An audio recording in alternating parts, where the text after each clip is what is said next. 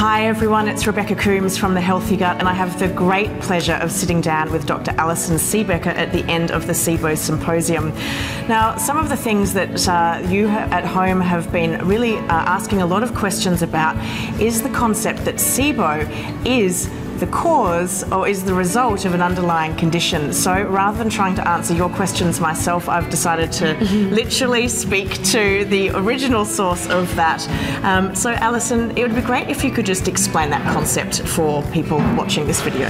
Well, there's there's sort of two concepts to, to understand. There's underlying cause and then cause or risk factor. An underlying cause would be what's actually going wrong in the body to allow SIBO to happen. And by that I mean to allow bacteria to accumulate in the chamber or the place of the small intestine because that is very abnormal. Um, and so that means structurally or functionally what is what is wrong there. That's one concept. And then the other concept is what caused that. And so those are the risk factors and causes that cause the underlying causes. And causes are things like diseases, drugs, lifestyle, surgery, injury, genetics, things like that. There's very many risk factors or causes, that's kind of a synonym there, of the underlying causes, and there's only a few underlying causes.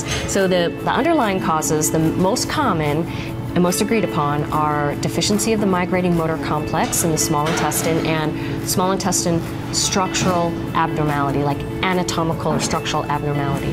And then the causes or risk factors are so many. Yeah. Just a few examples would be food poisoning, um, adhesions would be a structural one.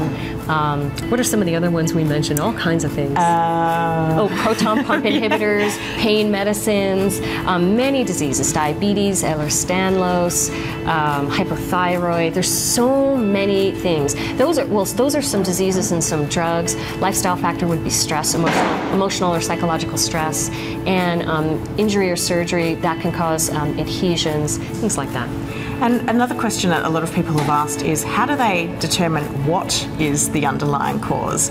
Um, and I think this is quite difficult sometimes to understand what it is. I know for myself, I look at those that whole gamut, and I have a whole. I tick a lot of boxes. Yeah. There wasn't just one thing I don't think that caused me to end And up you with know SIBO. that is true for most. I think for most people I see, or at least maybe half the people I see, it's a it's a co- combination of factors, and it's like one all adds up. Like which one was it, or was it all of them? Yeah. And it's like I think they stack upon each other and build, and then there's one that's a final one, the you know bra the straw that broke the camel's back.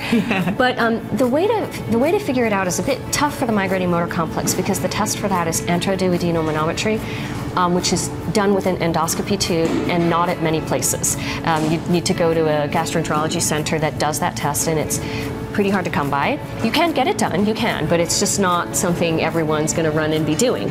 Um, there's an indirect test for that, which is the new IBS check test that um, is what Dr. Pimentel developed that checks antibodies in your blood for vinculin and CDTB.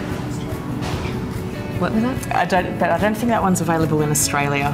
Oh, okay, So then we can great- just cut that out. But, it- but it's great. It's great for um, the American viewers because we do have a lot of people in America who are, who are watching Okay. the video. So but in Australia, unfortunately, that's not available. So, but the only thing is about that that test is that uh, it only it only checks.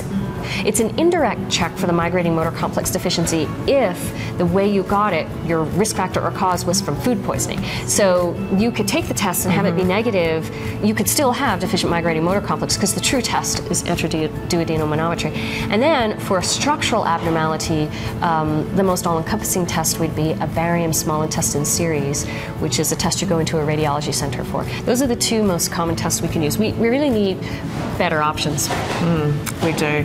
And Allison, if there's if there if you could summarise, uh, you know, all of the wonderful things we've heard and learnt uh, um, this weekend at the SIBO Symposium, do you have a, one key takeaway that you're coming away from this conference that uh, that you can share with people watching the video? Well, for me, I think I'd say it's hard. Like SIBO is a hard condition to treat for the majority of people and the majority of practitioners. It's a hard condition to treat. Um, sometimes a hard condition to, to get better from because it's chronic for a lot of people. But the, the but the thing from this symposium is that there are so many smart, good people, doctors and people working on it, that we're all helping each other to try and, and figure it out and do a better job with it. And that's my big takeaway is like we're all helping each other and we're learning and we're getting better. Yeah, and I think in 10 years' time, when we look back at this period of time, we'll know so much more in the future. But it's great that we now know about SIBO, and there are people out there that can work with you if you're suffering from SIBO. And and I think something that I've taken away is, you know, if if you don't feel that you're getting the right support now, keep looking.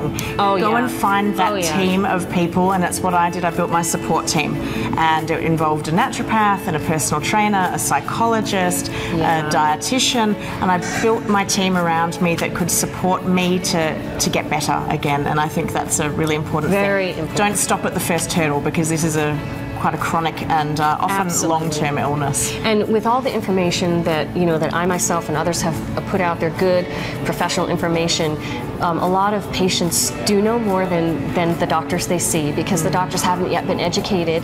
It's just an unfortunate circumstance. So if you do know more, keep going till you find someone who's open to learning what you know um, and hearing what our what us as professionals have put out there, um, or find someone who knows. Yeah, wonderful.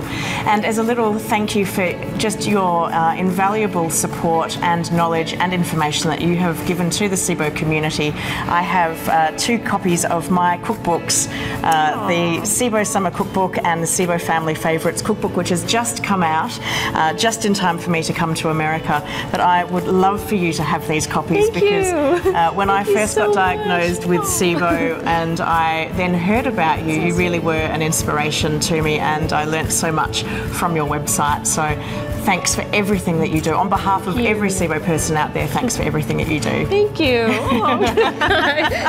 We'll cry together. Um, so I hope you've enjoyed the video and uh, stay tuned for more updates uh, as I uh, disseminate a lot of the information that I've learnt from the SIBO Symposium and I'll be sharing that amongst my platforms soon. I'm Rebecca Coomes with Dr. Allison Siebecker and we'll see you soon.